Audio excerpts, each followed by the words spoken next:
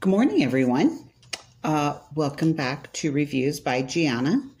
Today, um, just because it's getting towards the end of summer, and uh, I love body sprays in the summer. I think they're fantastic and they're lighter than regular perfumes, and I just like the way that they smell.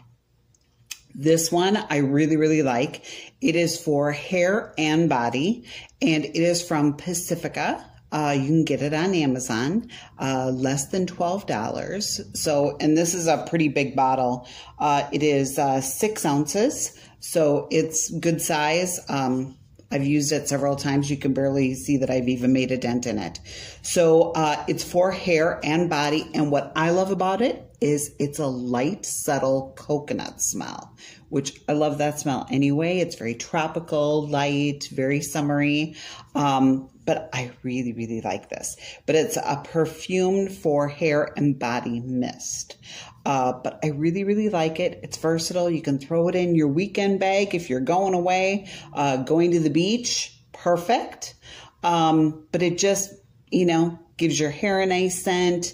And the, actually the hair, when you spray it in your hair, it really lasts. It does last on your body too, but I had taken a bath and changed and I could still smell it in my hair. So, um, yeah, I really, I really like it. It definitely has some longevity. So if you are looking for a great summery, light, fresh, tropical body spray, I highly recommend this. Um, it is not overpowering on the coconut scent.